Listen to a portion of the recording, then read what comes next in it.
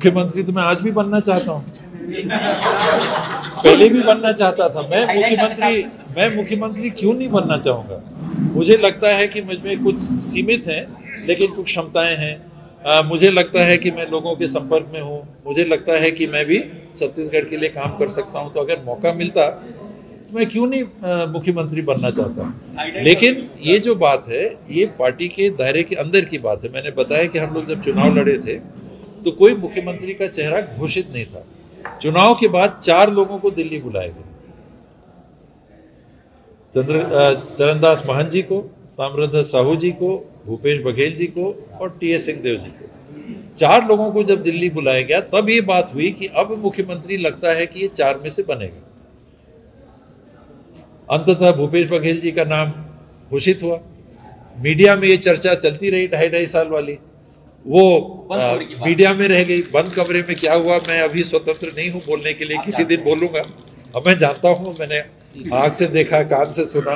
लेकिन इस बार आ, पार की स्थिति बन रही कांग्रेस इस बार तो मुख्यमंत्री अगर तब तो फिर जो मुख्यमंत्री हैं वो बनेंगे ना। वो पचहत्तर के पार ले जाएँगे तो जो मुख्यमंत्री आज है वो बनेंगे। सरगुजा की क्या स्थिति रहेगी? सरगुजा मतदाता तय करेंगे मुख्यमंत्री तो मैं आज भी बनना चाहता हूँ। पहले भी बनना चाहता था। मैं मुख्यमंत्री मैं मुख्यमंत्री क्यों नहीं बनना चाहूँगा? मुझे लगता है कि मुझमें कुछ सीमित हैं लेकिन कुछ क्षमताएँ हैं।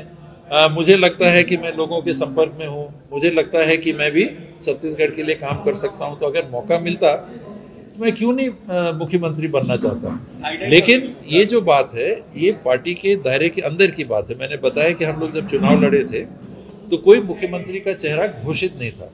चुनाव के बाद चार लोगों को दिल्ली बुलाया गया चंद्र चरणदास महंत जी को ताम्रध्वज साहू जी को भूपेश बघेल जी को और टी एस सिंहदेव जी को। चार लोगों को जब दिल्ली बुलाया गया तब ये बात हुई कि अब मुख्यमंत्री लगता है कि ये चार में से बनेगा। अंततः भूपेश बघेल जी का नाम घोषित हुआ। मीडिया में ये चर्चा चलती रही ढाई ढाई साल वाली। वो बात। मीडिया में रह गई। बंद कमरे में क्या हुआ मैं अभी स्वतंत्र नहीं हूँ बोलने के लिए। किसी दिन बोलूँगा। अब मैं जानता हूँ मैंने आग से देखा कान से सुना।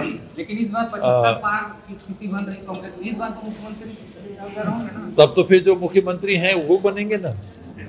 वो पचहत्तर के पार ले जाएँगे तो जो मुख्यमंत्री आज है वो बनेंगे। सरगुजा की क्या स्थिति रहेगी सरगुजा मतदाता तय करेंगे